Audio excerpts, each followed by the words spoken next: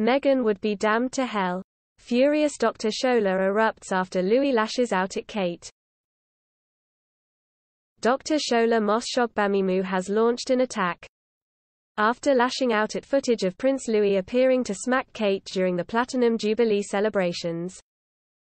The outspoken commentator erupted on Twitter after quoting the footage, saying, Meghan Markle would be damned to hell if Archie did this. No doubt media would claim his black ancestry makes him ill-behaved remind all that they descended from cotton slaves. None would think it cute, funny, or give her parenting the benefit of the doubt as they have Kate. The footage shows the young prince, 4, making the Duchess of Cambridge laugh as he pulls faces, before appearing to push his hand into her face. Her tweet has so far received over 10,000 likes, with some agreeing with the 46-year-old commentator and others arguing back leave the kid alone. One user replied, This is normal behavior though. He is just a kid. Let's leave the kids alone. With another adding, this is how little children behave.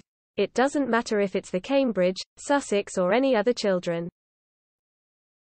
It comes following footage of Prince Louis making crowds laugh on the Buckingham Palace balcony during the RAF flypast. The prince was seen covering his ears after finding the noise of the aircraft too much. One person replied to Dr. Shola saying, Where were the nannies? Who taught that kid to behave like that? Why was a four-year-old, who is bored obviously for a four hours parade kept there? What about the child development expert? Self-proclaimed months ago. Dr. Shola later continued her scathing attack on Twitter, adding, Royal experts media would have dissected Archie's behavior, torn into him, labeled him with all kinds of behavioral disorders if he'd smacked Meghan Markle's mouth shut as Louis did to his mother Kate and pulled hair. None would remember he was a child because he's Meghan's child.